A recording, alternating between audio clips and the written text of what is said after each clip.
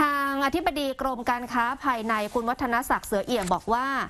ก็ขอบคุณที่ผ่านมาเนี่ยที่ขอความร่วมมือไม่ให้ขึ้นราคาเขาก็ให้ความร่วมมือมาโดยตลอด ครับ แต่รอบนี้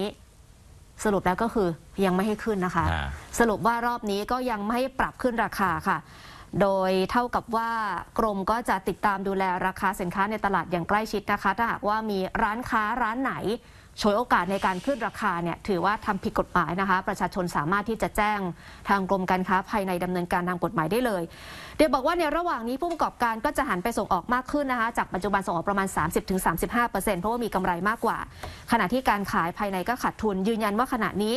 กำลังการผลิตบะหมี่กึ่งสำเร็จรูปนั้นเพียงพอต่อความต้องการค่ะ ปัจจุบันบริษัทเดินหน้าผลิตเพียงแค่ 80%ของกำลังการผลิตนะคะคงไม่มีปัญหาเรื่องบะหมี่กึ่งสำเร็จรูปขาดแคลน เพราะว่าในช่วงปีนี้ปีที่น้ำท่วมใหญ่ถนนขาดมาม่าก็ยังสามารถผลิตและขนส่งไปจำหน่ายได้ ในช่วงปีที่น้ำท่วมใหญ่ก็ยังขายได้ ขณะเดียวกันที่จะทำให้บะหมี่ขาดแคลนก็คือการกักตุนของประชาชนนี่แหละค่ะ กรณีนี้สินค้าไม่ได้ขาดแคลนดังนั้นผู้บริโภคไม่จำเป็นต้องกักตุนนะคะ ท่านซื้อเท่าที่ท่านกิน ท่านซื้อเท่าที่ท่านจำเป็นนะคะ ไม่ต้องกักตุน ส่วนกรณีที่บอกว่าผู้ประกอบการยังมีกำไรจากการส่งออกทำให้กรมการค้าภายในยังไม่อนุมัติให้ปรับขึ้นราคา ปัจจุบันมีกำไรจากการส่งออกไม่มากเพียง 5%เท่านั้นค่ะ ส่วนการบริโภคในประเทศขณะนี้เริ่มปรับเพิ่มขึ้น เติบโต 3-5%ในขณะที่คุณจุลินลักษณะวิสิทธิ์รัฐมนตรีกระทรวงพาณิชย์นะก็ให้สัมภาษณ์ถึงเรื่องนี้ก็บอกว่าจริงๆ แล้วบะหมี่กึ่งสำเร็จรูปนั้นเคยปรับราคาเมื่อ 10 กว่าปีที่แล้วนะคะ ปรับมาหนึ่งครั้ง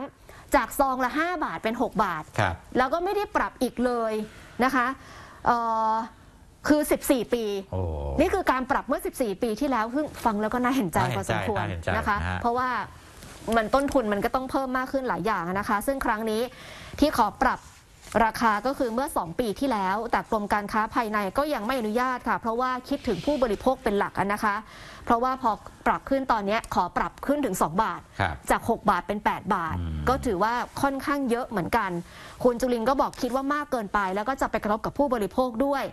แต่ทั้งหมดนี้ก็ขึ้นอยู่กับกรมการค้าภายในที่จะเข้าไปดูต้นทุนนะคะ ซึ่งขณะนั้นเข้าใจว่าวิเคราะห์ต้นทุนทั้งหมดเสร็จแล้ว ซึ่งให้นโยบายไปว่า ถ้าจะต้องปรับลดให้เป็นไปตามต้นทุนที่เพิ่มขึ้นจริงก็ต้องปรับราคาขึ้น